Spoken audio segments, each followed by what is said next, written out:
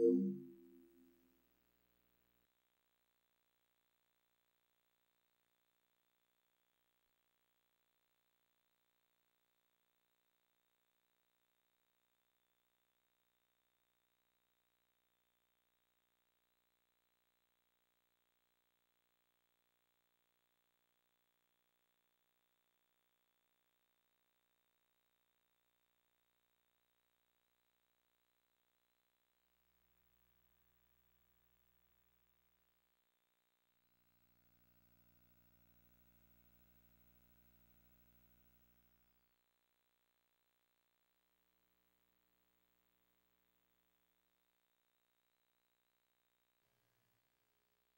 I must speak with Morganna to go where she wishes. The living flesh poses a hindrance, but I must, I must go for our aura.